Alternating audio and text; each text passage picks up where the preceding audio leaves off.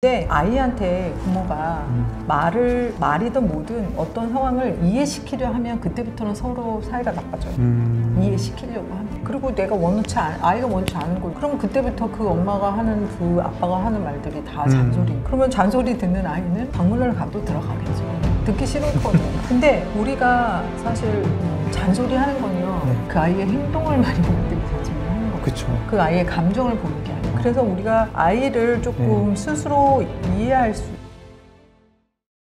공감을 하려면 잘 들어야 되잖아요. 그렇죠 그 공감적 경청을 좀 하는 방법 있을까요? 공감적 경청 세상에서 제일 힘든 것 같아요 음. 그러니까요. 사실 저희는 그러니까 저도 그렇습니다. 그 혹시 성공하는 사람들이 일곱 가지 습관이라는 음, 책 읽어 네, 네, 워낙 유명한 책이니까. 그렇죠, 워낙 네. 유명. 이 책에서 보면은 공감적 경청이라는 말이 음. 나와요. 근데 거기서 어, 나오는 말에 어, 사람의 말을 무시하거나 듣고 싶은 것만 듣는 게 아니고요. 네, 네. 진짜 상대방의 마음 공간에 들어가서 음. 대화를 한다는 거거든요. 음. 근데 그게 얼마나 힘들 겠어요. 마음 힘들죠. 공간, 마음 공간이 뭘까요? 찾는 것도 힘들 것 같은데. 맞아요. 근데 아이한테 부모가 음. 말을 말이든 뭐든 어떤 상황을 이해시키려 하면 그때부터는 서로 사이가 나빠져요. 음. 이해시키려고 합니다. 아 이게 주입으로 되는군요 네. 이게. 그리고 내가 원치 않, 아이가 원치 않은 걸 그러면 그때부터 그 엄마가 하는 그 아빠가 하는 말들이 다 음. 잔소리. 그러면 잔소리 듣는 아이는 방문을 가도 들어가겠죠. 네. 듣기 싫거든요. 근데 우리가 사실 음, 잔소리 하는 건요. 네. 그 아이의 행동을 많이 보기 때문에 잔소리를 하는 거거든요. 그쵸. 그 아이의 감정을 보는 게 아니에요. 어. 그래서 우리가 아이를 조금 스스로 이해할 수, 아이들을 스스로 이해할 수 있게끔 하는, 하려면요. 음. 아이의 말을 진짜 잘 경청을 해야 되는데 여기에서 경청의 포인트는요 관심인 거예요. 책을 좋아하시는데 네. 제가 책에 관심이 없어요. 음. 그러면 제가 책에 대해서 작가님이 저한테 얘기를 했을 때 제가 잘 들을 수 있을까요? 못 듣죠. 네, 근데 제가 저도 관심이 음. 책에 있다라면 음. 대화가 잘, 잘 되겠죠. 거죠. 네, 그쵸. 네, 그런데 아이랑 얘기를 할 때내 음. 엄마의 관심 밖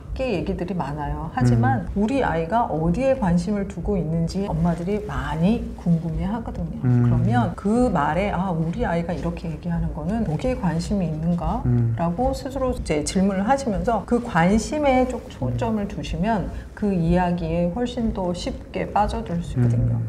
그래서 저 같은 경우에는요 예전에는 그랬어요 직장 갔다 와서 딱 보니까 설거지도 해야 돼 빨래도 해야 되죠 음. 저희 친정 엄마가 아이들을 돌봐주셨으니까 뭐 빨래는 해주셨다 해도 개켜야 해도 네. 저녁 늦게까지 소파에 제대로 앉아 있는 적이 음. 없는 거예요 그렇게 보다 보니까 아이들은 또 그때 어렸을 때 유치원 갔다 오고 막 네. 아, 유치원에서 뭐 그때는 사춘기 아니어갖고 말을 잘하거든요 음. 아 유치원 갔다 와서 뭐 이랬또 이랬어 하는데 저는 계속 분주하죠 설거지 음. 하면서 어 그랬어 어 그랬어 하는데 그거는 그냥 어 그랬어지 얘 말이 잘 들어오지 않아요 근데 저는 제가 해야 될 것들이 더 많이 보여서 음.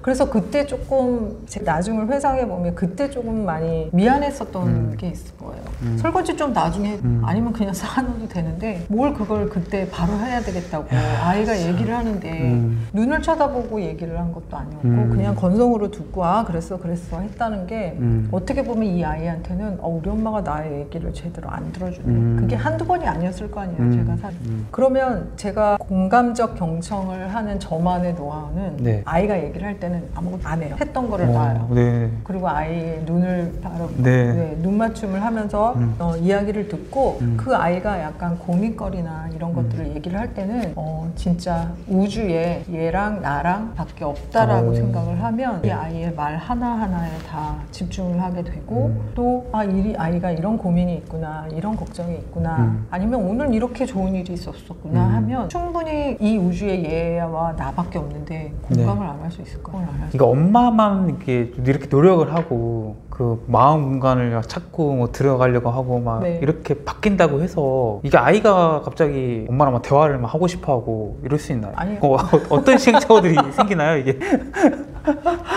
아이는 하루아침에 음, 바뀌지 네, 않아요. 네, 네. 근데 가장 중요한 건 네. 아이를 변화시키기 위해서 제가 하는 건 언젠간 변하겠죠. 네, 네. 근데 변화시키려는 그런 의도가 있다라고 하면 네, 네. 이 아이의 말이랑 이 아이의 공감들이 제대로, 제대로 이루어지지 않아요. 그쵸 그쵸. 그러니까 아이는 언젠가는 변할 거예요. 네. 그런데 이 아이가 변화시키려는 게 목적이 아니고요. 음. 공감하고 서로 경청하고 또 서로 소통하는 거잖아요. 음. 이게 잘 소통이 되고 그 소통이 계속 계속 계속 지속이 되면 음. 언젠가는 이 아이의 마음도 열리고 이 아이가 이 아이만의 방법으로 음. 변화해 가지 내가 이 아이를 변화시키겠다라고 해서 감정 코칭을 하거나 아니면 이 아이의 소통을 하거나는 아닌 거 아, 그 변화를 네. 목적으로 이걸 하면 이제 못하는군요, 이게 결과적으로. 지치지 않을까요? 그-. 이게 하루아침에 예. 고쳐지지가 않거나 음. 하루아침에 아이가 변하는 게 아니라 음. 내가 변하는 게 훨씬 더 빨라요.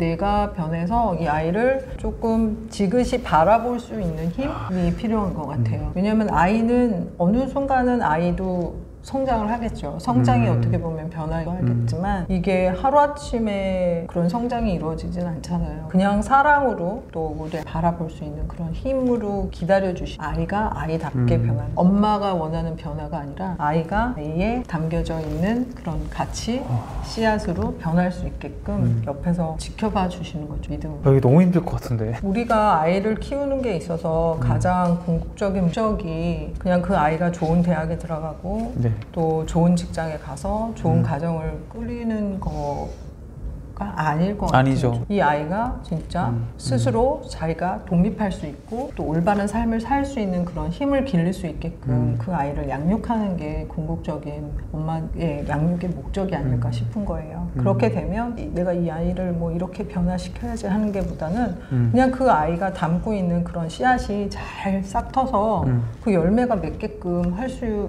옆에서 옆에서 이제 지원해주고 또 지지해주고 음. 응원해주고 음. 칭찬해주고 인정해주는 게 어, 실질적으로는 부모님들이 해야 될 그런 역할 아닐까 싶어요. 그 엄마 감정에도 처방이 필요한 이유는 어디에 있을까요? 엄마 감정이 네. 곧 아이의 감정이 될 수 있어요. 왜냐면 내가 힘들 때 그걸 보면 아이들도 이제 괜히 어, 나 때문에. 힘든가? 예. 네, 그렇게 되고 네. 그렇기 때문에 엄마의 감정을 스스로 계속 자꾸 확인을 하는 작업들이 필요하세요. 음. 왜냐하면 엄마들이 너무 바쁘다 보니 내 감정을 확인을 못할 때가 많아요. 음. 집안일 하고 네, 뭐 하지. 나를 잘 챙기지 못할 때가 많거든요. 네. 그리고 또 애기들 어렸을 때는 저도 어떻게 밥을 먹었나 모르요 먹고서 엄청 많이 울었거든요. 저희 음. 그러니까 내 스스로가 나를 챙기는 시간들이 너무 없어요. 그렇기 때문에 어 그러면 엄마들의 감정을 어떻게 잘 챙겨야 될까? 어떤 처방전이 필요할까라고 생각을 해봤거든요. 네. 네. 그러면 일단 처음에는요 음. 잘 스스로 자주 물어보셔야 돼요 뭐라고 물어보나요? 기분이 어때? 나한테. 네. 지금 기분이 어때? 음. 저한테 물어보는 거죠 네. 뭐 잠자기 전에라도 음. 어, 오늘 기분이 어때? 음. 오늘 기분이 어땠어? 그러면 아 오늘 너무 힘들었어 네. 오늘 너무 지쳤어 네. 아니면 오늘 나쁘지 않았어 음. 그러니까 약간 감정들을 좀 정리하는 시간이 필요한 것 같아요 그래서 감정 쓰레기는 좀 버리고 네. 좋은 감정은 갖고 하룻밤을 자고 그러니까 그런 작업들이 이루어지지 않으면 네. 자꾸 이런 게 쌓이다 쌓이다 쌓이다 어느 순간에 나는 누구 여기는 어디야 음. 이렇게 되는 거죠 음. 그리고 이게 다 와르르 무너지는 순간들이 가끔 올 때가 있더라고요. 이게 음. 너무 쌓이고 쌓이고 음. 쌓이고 하면 그리고 어느 순간 결혼하고 나면 내 이름이 없어지잖아요. 네. 특히 엄마들은 그쵸. 그래요. 학교 가면은 누구 엄마, 또 첫째 엄마, 둘째 엄마 그쵸, 뭐 그쵸. 이렇게 불리고 그렇기 때문에 나를 챙기는 시간은 반드시 필요한 것 같고요. 음. 그 다음에 집안일이나 이런 거에 조금 많이 지쳐 있을 때는 자존감이 바닥을 칠 때가 있어요. 오. 엄마의 자존감. 네. 나는 뭐지? 음. 진짜 나는 뭐지? 그러니까 나를 좀 인정해주는 시간들, 그러니까 감정을 또 체크해주는 시간들. 음. 그래서 약간 자존심이 아니고 네. 음. 자존감을 높이려면 내가 뭘 잘하는지 조금 확인이 필요해요. 작가님은 뭘 잘하세요? 장점. 잘하는 거, 그럼 꾸준히 하는 거. 아, 네. 성실함 진짜 네. 좋죠. 네. 그러면 엄마들은 자기의 장점을 한번 써보세요. 음. 왜냐면 되게 힘들어요 맨 처음에는 어, 갑자기 이렇게 네. 돌연들 얘뭐 여쭤봤을 때는 네. 조금 그렇잖아요 어 네. 내 장점이 뭐지 음. 한 번도 생각 안 한 사람들은 내 장점 하나도 얘기하기가 힘들거든요 그쵸, 그쵸. 리고 자존감이 바닥을 치는 분들한테 장점이 뭐예요 하면은 저는 장점이 없어요 음. 그런데 장점은 다 있어요 근데 그걸 찾기가 힘든 거죠 음. 그래서 내 감정을 자꾸 찾고 그거를 장점을 자꾸 인정해주는 그런 연습을 조금 반복하시면 네. 엄마의 감정들도 조금 어, 단단해지는 거죠. 음. 어, 단단해진다는 게 조금 뭐 무뎌진다는 건 아니고 음. 어떻게 보면 회복 살력성이 높아진다고 할 수 있을 것 음. 같아요. 그리고 가장 필요한 거 엄마만의 시간이 필요해요. 엄마만의 시간이 필요해서 네. 휴가를 하루 내셔도 돼요. 음. 그러니까 회사 휴가 뭐 이런 게 아니라 네. 육아 휴가, 어. 네, 지- 양육 휴가. 완전히 다 안 하는 거죠, 그러니까 일을. 약간 어디 가셔도 좋을 것 같아요. 음. 저는 사실 한참 힘들었을 때 네. 1박 하고 어, 오겠다고 어. 선언을 하고 짐을 네. 다책 읽고 싶은 거 책 읽고 그래서 네. 호텔에 가서 1박을 했어요. 와. 그때 코로나에서 어디 가지도 못하고 음. 해서 근데 그런 시간이 너무 좋았어요. 그 음. 시간이 저한테는 당연히 출장 갈 때도 있고 그럴 때도 있는데 출장도 일 때문에 가는 거죠. 음. 가족끼리 여행 가는 것도 엄마가. 할 일이 훨씬 더 많아요. 훨씬 많죠. 예. 근데 나만 챙길 수 있는 그런 시간을 한번 갖는 것도 음. 어, 엄마들의 감정을 좀 케어하는데 좋은 시간이 되실 것 같아요. 아, 그럼 이제 혼자 휴가 가셔서 해보면 좋을 뭐 활동들? 뭐 이런 거 혹시 있나요? 저는 멀리도 못 가고 네. 그냥 도심에서 그래서 한 번은 음, 음. 그때는 진짜 저도 좀 변화가 필요했기 때문에 짐 네. 싸고 1박 2일로 음. 이제 아이들도 그렇고 내 남편들도 다 허락을 받아서 음. 1박을 갔는데 저는 그때 호텔 아니 백화점 지하 푸드코트를 아, 진짜요?